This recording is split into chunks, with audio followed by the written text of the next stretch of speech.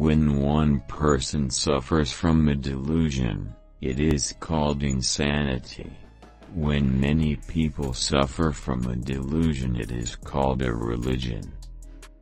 The place to improve the world is first in one's own heart and head and hands, and then work outward from there. The truth knocks on the door and you say, go away, I'm looking for the truth, and so it goes away. Puzzling. You look at where you're going and where you are and it never makes sense. But then you look back at where you've been and a pattern seems to emerge. Is it hard? Not if you have the right attitudes. It's having the right attitudes that's hard. To live only for some future goal is shallow. It's the sides of the mountain that sustain life, not the top. If someone's ungrateful and you tell him he's ungrateful, okay, you've called him a name.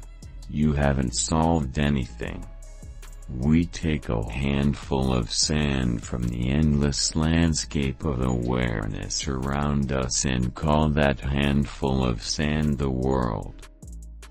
The real purpose of the scientific method is to make sure nature hasn't misled you into thinking you know something you actually don't know. The only Zen you find on tops of mountains is the Zen you bring there. You want to know how to paint a perfect painting? It's easy. Make yourself perfect and then just paint naturally. When analytic thought, the knife, is applied to experience, something is always killed in the process. And what is good, Phaedrus? And what is not good? Need we ask anyone to tell us these things? What makes his world so hard to see clearly is not its strangeness but its usualness familiarity can blind you too.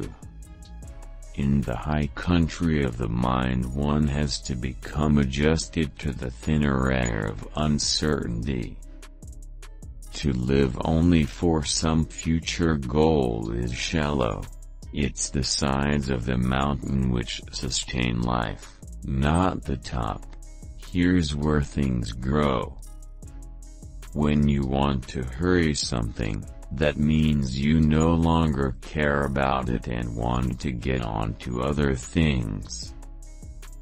If your mind is truly, profoundly stuck, then it might be much better off than when it was loaded with ideas.